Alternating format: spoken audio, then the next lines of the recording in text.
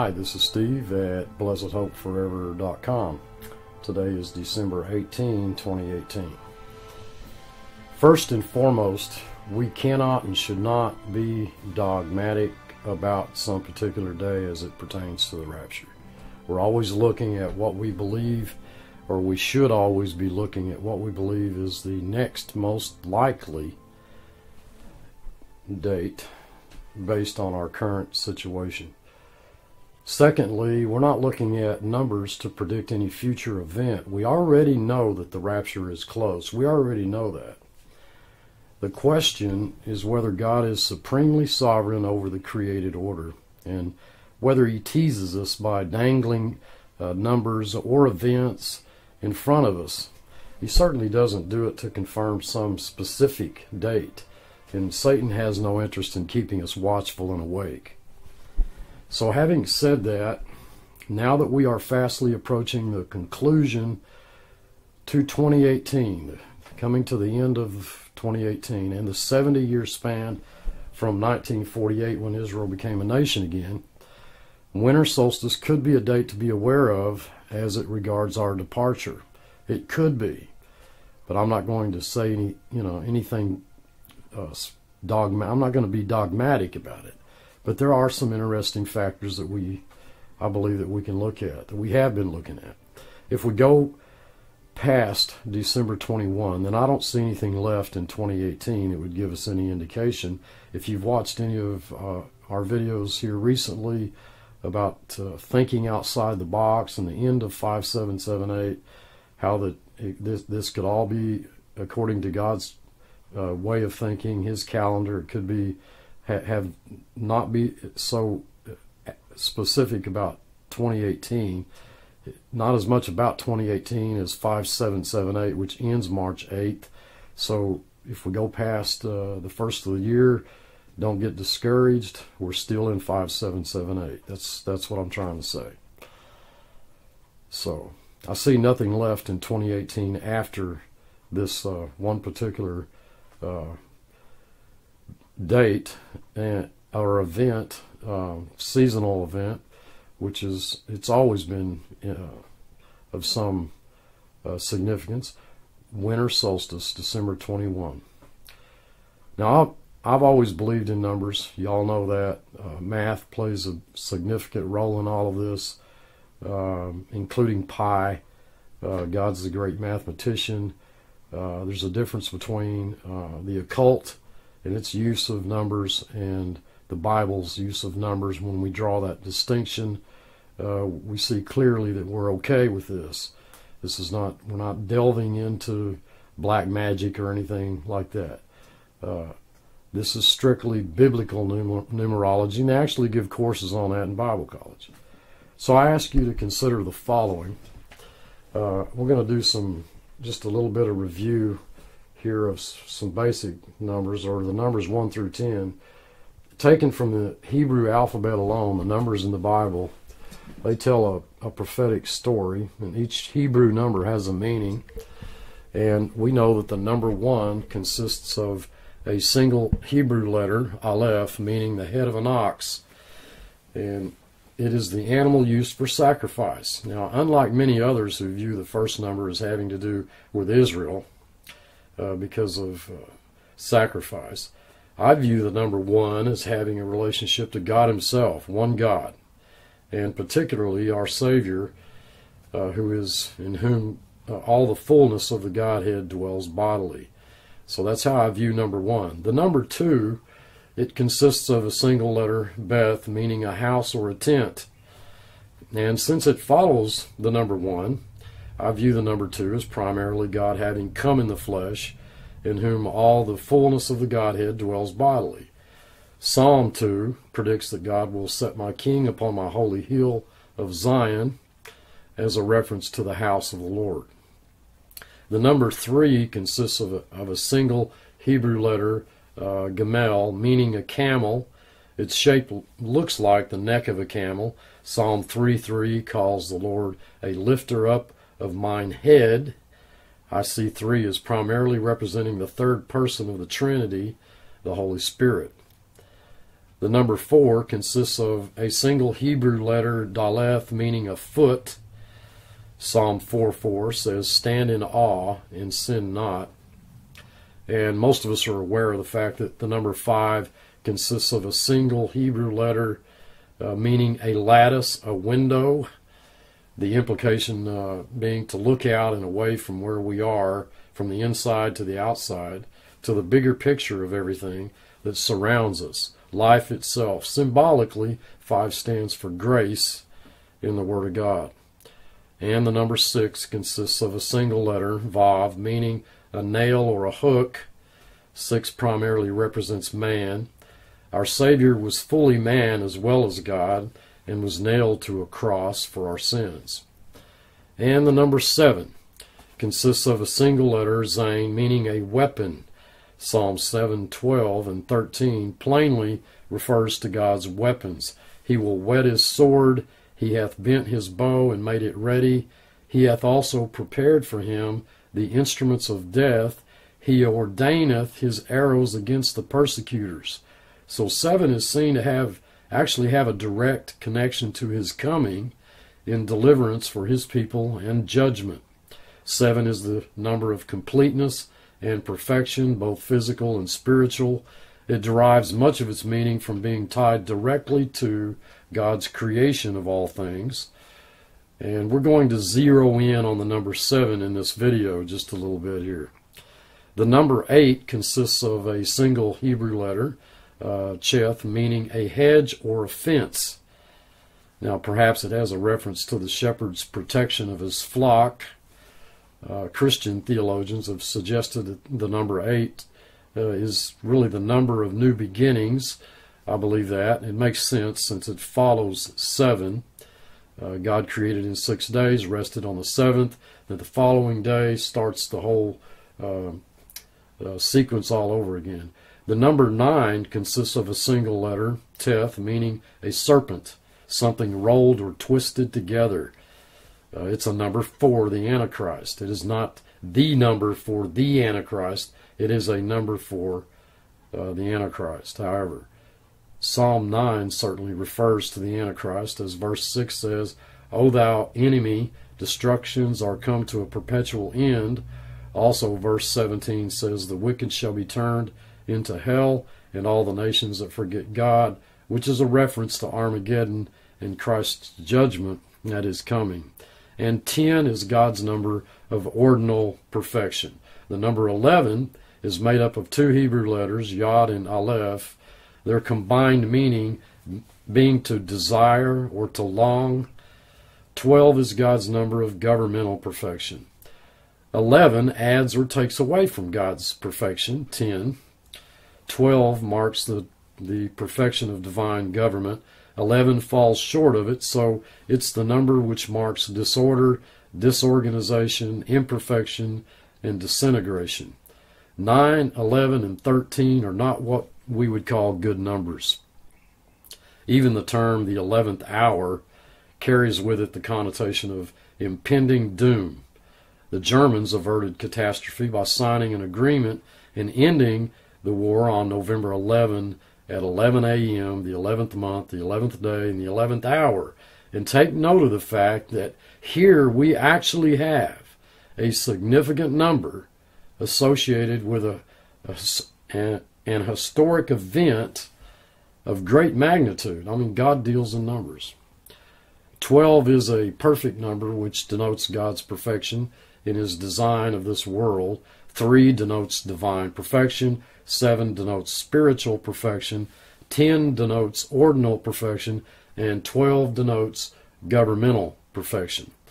12 divisions of the heavens that govern the night, 12 months that govern the year, 12 tribes of God's chosen people, 12 disciples chosen by Jesus. Uh, the New Jerusalem is 12,000 furlongs in length, breadth, and height. And someday God will choose a group of 144,000 Jews 12,000 from each of the 12 tribes. God deals with numbers. The number 13 is made up of two Hebrew letters, Yod and Gimel. 13 is a number of ill omen. In the Bible, every occurrence of the number 13 and its multiples are connected with rebellion, apostasy, defection, corruption, disintegration, or revolution. And it, it is because the world is aware of this biblical number association that superstition is associated with 13, not the other way around. It was in the 13th year that Sodom rebelled against its overlords and was carried into captivity, and so it is throughout the Bible. Thus, there's grown up a variety of superstitions. That is why some buildings have no 13th floor, and some airlines used to have no 13th row of seats, etc., etc.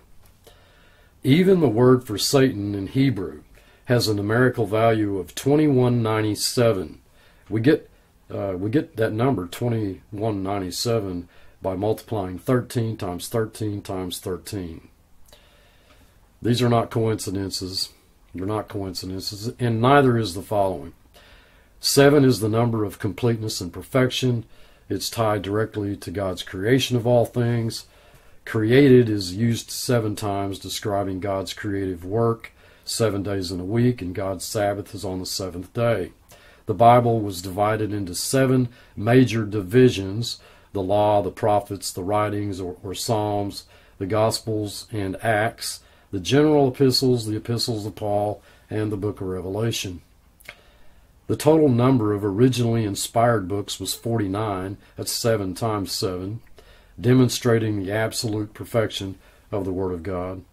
The writer of Hebrews uses seven titles to refer to Christ heir of all things, captain of our salvation, apostle, author of salvation, forerunner, high priest, and the author and finisher of our faith.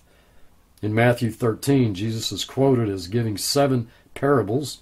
Seven psalms are ascribed to David in the New Testament. In Revelation, there are seven churches, seven angels, to the seven churches, seven seals, seven trumpet plagues, seven thunders, and the seven last plagues. There are seven annual holy days, beginning with Passover and ending with the Feast of Tabernacles.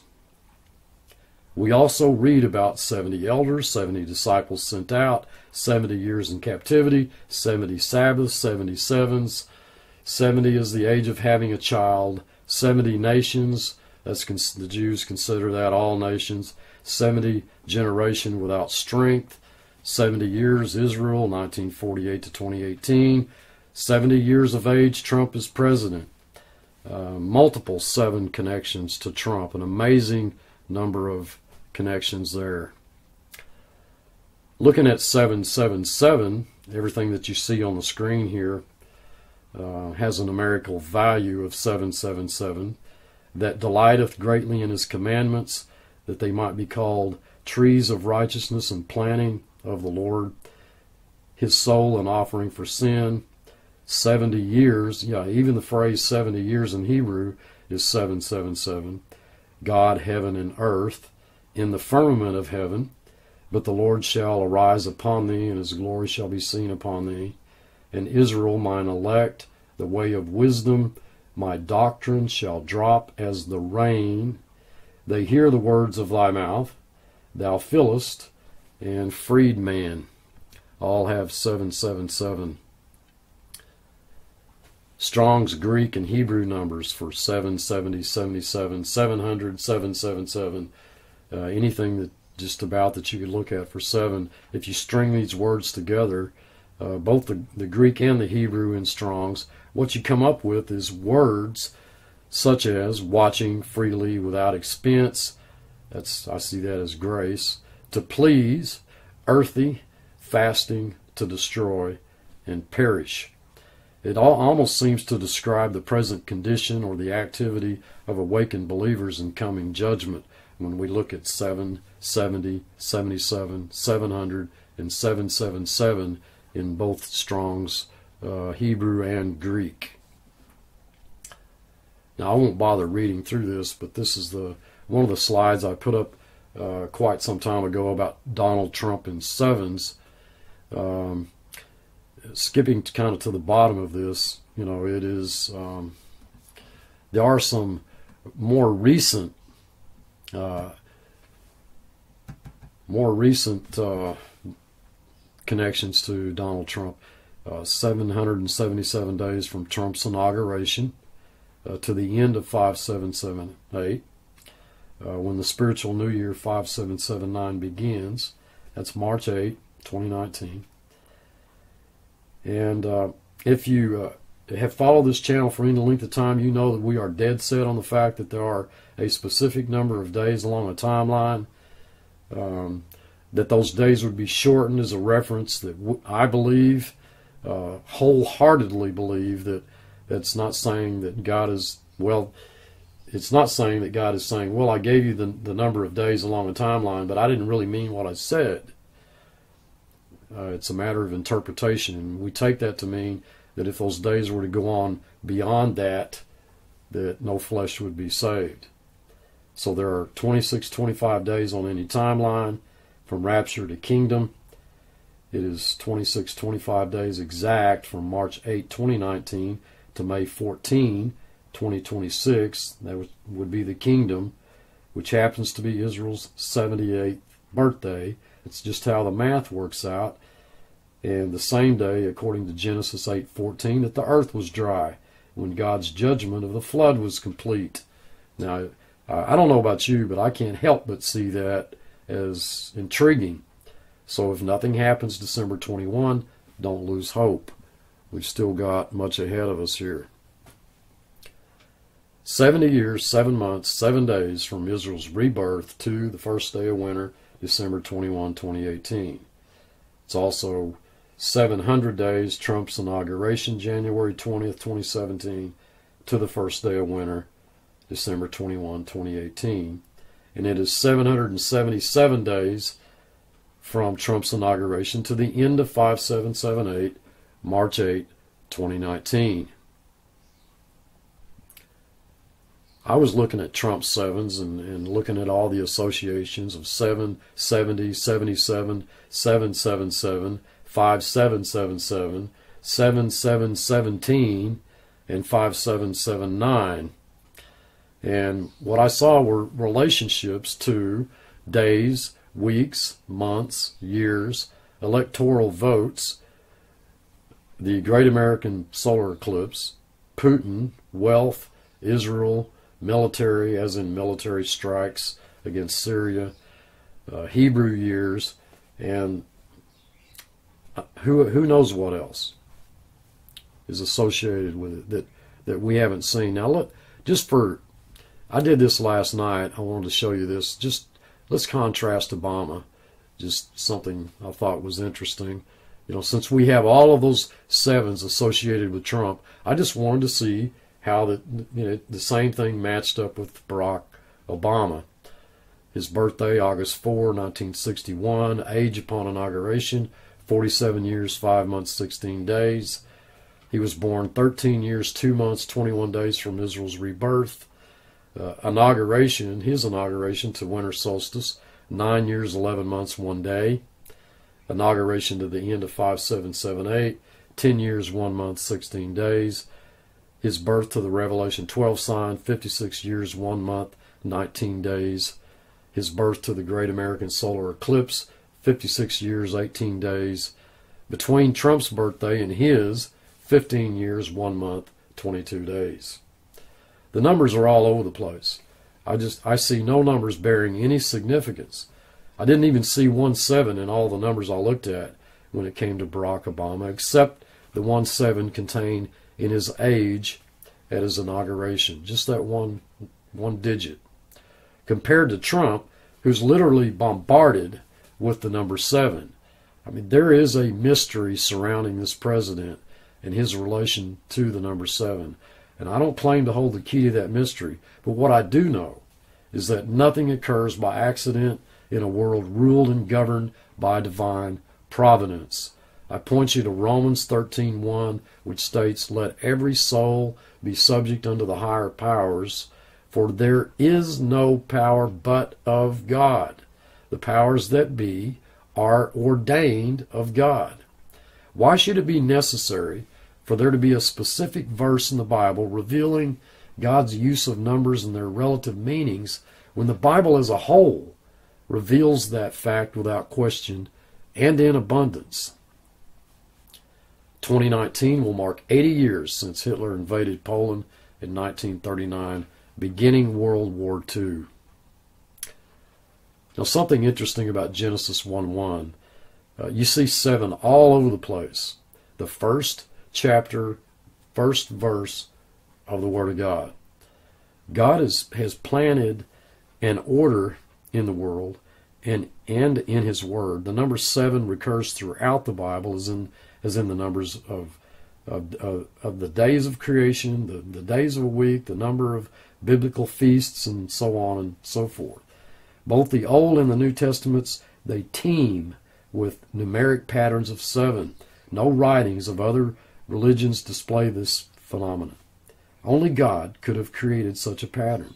It could not have occurred by accident or by chance. We don't worship the God of chance. It is further evidence of, of the seal or signature of God. It is proof of divine authorship. That's what it is. Now, looking at Genesis 1 1, there are seven words in the verse. There are 28 letters divisible by 7. The first three words have 14 letters divisible by 7. The last four words have 14 letters divisible by 7. The third and fifth words have 7 letters. The sixth and seventh words have 7 letters. The key words God, heaven, and earth have 14 letters. That's divisible by 7. The remaining words have 14 letters divisible by 7. The middle word is the shortest with two letters. However, the words to the right and the left of it, they have five letters each. Combining uh, with either would give seven. Something interesting also about Jesus' birth. I know that date is often disputed. We here at BlessedHopeForever.com are, are camping heavily on the fact that his his birth was 9/11. That's amazing in and of itself. But when we count from his birth, his birthday, 9/11/2018, to the day before winter solstice, 1220, or the days in between his birth and winter solstice, we're looking at 100 days. And 100 in the Bible signifies testimony, law, responsibility, and the completeness of order. 100 is 10 times 10. Something else interesting about 222, Israel turned 70, May 14, 2018. If we count the days from Israel turning 70 to the winter solstice, December 21st, 2018, we get 222 days. 222. We know Jesus is a, uh, the numerical value of Jesus in the Greek is 888. Jesus is the second person of the Trinity.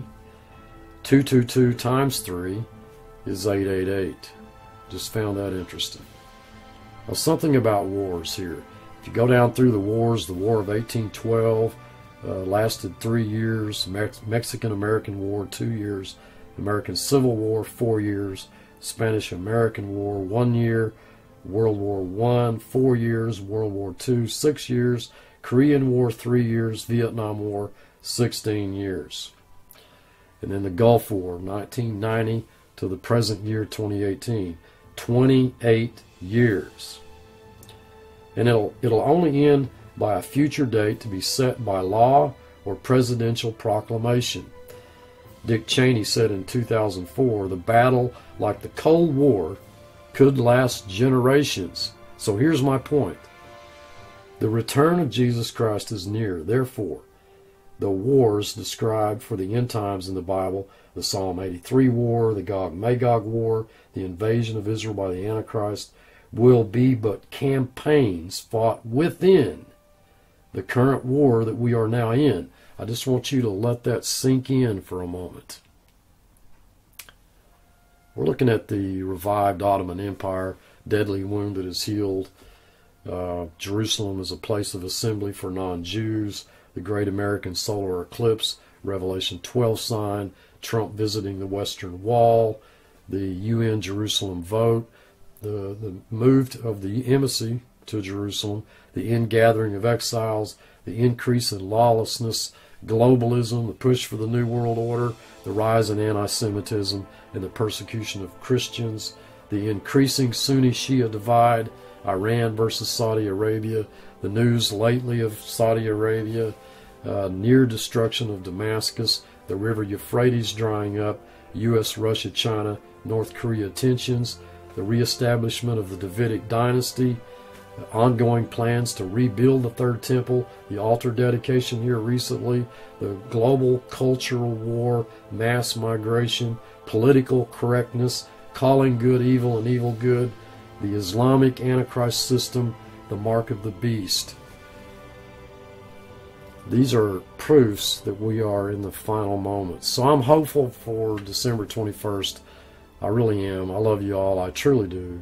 This is Steve. Thanks for watching.